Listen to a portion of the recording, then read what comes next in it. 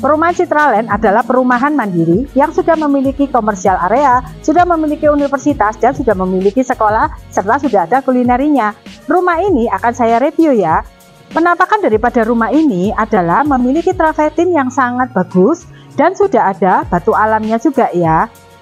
Bentuknya itu adalah modern style. Nah ini carportnya bisa dua mobil dan garasinya bisa dua mobil juga. Di sebelah kiri ini masih ada taman untuk penghijauan kamu. Sekarang kita akan naik di dalamnya ya. Untuk anak tangga yang di depan ini sudah memakai flooring kayu, jadi kesannya sangat alami juga. Kita akan lihat di dalamnya ya. Untuk pintunya sudah memakai double door dan pintunya ini sudah sangat solid ya, jadi sangat kuat sekali. Yuk kita masuk. Ruangan tamunya juga sangat bagus sekali dan untuk lantainya sudah memakai granit yang tipenya sudah marmer. Untuk kamar tamunya ini sangat besar juga ya. Di sebelah kanan kamar tamu sudah ada satu kamar tidur. Kita lihat ya. Ini adalah kamar tidur yang pertama di lantai yang pertama, sangat besar juga. Sudah ada pencahayaan yang sangat besar juga. Sudah melihat view-nya ke taman yang di depan. Enaknya lagi kamar tidur utama ini bisa dipakai untuk orang tua atau ruang kerjamu karena sudah ada kamar mandi di dalamnya. Kita akan lanjut lihat untuk kamar keluarganya ya. Sebelumnya di sebelah kanan ini masih ada powder roomnya. Ini adalah ruang keluarga yang sangat besar di antara rumah-rumah yang lain. Di ruang keluarga ini di sampingnya bisa kamu pakai untuk dapur kering, bisa dibuat untuk ruang makan. Enaknya lagi, ruang makan ini dan untuk ruang keluarganya itu menyatu di taman belakang. Kita lihat taman belakangnya ya. Taman belakang ini di sebelah kiri ini sudah open air yang sangat bagus untuk pencahayaan dan udaranya. Kamu bisa duduk-duduk di sini dari pagi hingga malam hari dan di sebelah kanan masih ada poin-poin dan di atas itu masih open air. Kita akan lanjut di ruang ART-nya yang terpisah ya. Ini adalah ruang ART-nya yang terpisah tadi dan menyambung di sebelah kiri bisa untuk kamar tidur dan kamar mandi ART-nya serta tempat untuk cuci-cuci di sebelah kanan, di atas bisa buat untuk jemuran. Nah, di sebelah kiri ini yang menembus ke garasinya tadi. Kita akan lanjut di lantai yang keduanya ya. Rumah ini bentuknya split level, jadi di setengah lantainya ini ada satu kamar tidur utamanya. Satu kamar tidur utamanya ini sangat besar. Yuk kita lihat jalannya ya.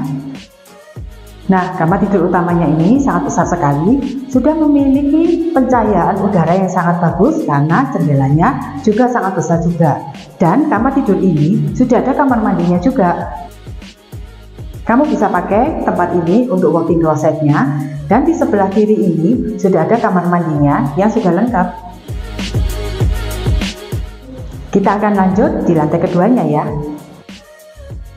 Kamu keluar di kamar tidur ini sudah ada di sebelah kanan ada gudang satu. Nah, untuk anak tangganya ini sangat effortless buat orang tua maupun anak-anakmu, jadi sangat aman ya. Juga ada kayu serta kaca temper membuat kesannya sangat istimewa dan sangat mewah sekali. Ya kita lihat. Di lantai dua, di sebelah kiri ini sudah ada kaca yang sangat besar sehingga untuk penerangannya sangat bagus. Dan di lantai dua ini sudah ada tiga kamar tidur yang sudah kamar mandi dalam semua dan ukurannya sangat besar-besar. Kita akan lihat di kamar tidurnya yang pertama ya. Ini adalah kamar tidur utamanya yang sangat besar sekali. Sudah ada kaca-kaca yang sangat besar sehingga untuk ventilasi dan pencahayaannya sangat bagus. Kamu bisa melihat di sini, ini bisa dipakai untuk walking closetnya dan di sebelah kiri sudah ada kamar mandinya yang sudah lengkap kita akan keluar di kamar ini, kita akan menuju ke living roomnya.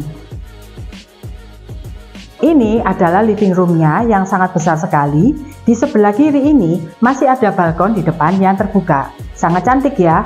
Kamu bisa duduk di sini sambil minum kopi atau minum teh. Di sebelah kanan ini kamu bisa melihat rumah-rumah yang sangat istimewa sekali. Kita akan melanjutkan di kamar tidurnya yang kedua ya. Sebelumnya kita akan menerangkan ini masih ada living roomnya yang sangat besar dan di sebelah kanan ini masih ada balkon private-nya. Kita lihat ya.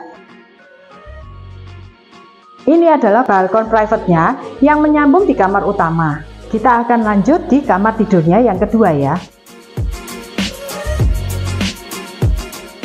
Ini adalah kamar tidurnya yang kedua yang sangat besar sekali, mempunyai kaca-kaca yang juga sangat besar sehingga untuk ventilasi dan pencahayaannya sangat bagus. Kita akan melihat ini ada kamar mandi di dalamnya. Kamar mandi dalamnya ini juga sudah lengkap, sudah memakai shower dan sudah ada toilet serta wastafel-nya. Nah, kita akan melihat masterpiece daripada rumah ini, yaitu kamar tidur utamanya. Yuk kita lihat kamar utamanya ya. Kamar utamanya istimewa sekali. Kamu bisa melihat kamar utama ini, di sini bisa kamu pakai wardrobe yang sangat besar untuk walking closetmu. Plus, ada kamar mandinya yang istimewa juga. Ini kamar mandinya, sudah ada toilet, sudah ada wastafel, dan kamu bisa melihat ini sudah ada showernya yang tersendiri. Plus ada bathtubnya dan sudah ada TV-nya. Bayangkan kalau kamu di sini bisa melihat TV dengan santai dan rileks. Juga ada balkonnya di sebelah kanan yang masih open air.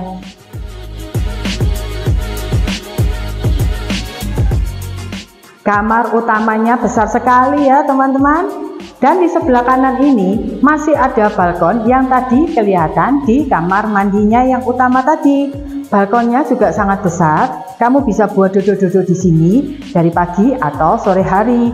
Sebelah kanan ini masih open air juga. Plus, ada lagi yang istimewa di kamar tidur utamanya ini yang tidak ada di rumah yang lain, yaitu memiliki private balkon yang sangat cantik seperti ini. Yuk kita lihat. Nah, ini adalah private balkonnya yang sangat istimewa. Kamu bisa bayangkan bisa duduk-duduk di sini dengan suami dan istri tercinta plus dengan anak-anakmu yang tercinta juga kan? Nah, untuk surveinya bisa menghubungi Mega ya. Thank you.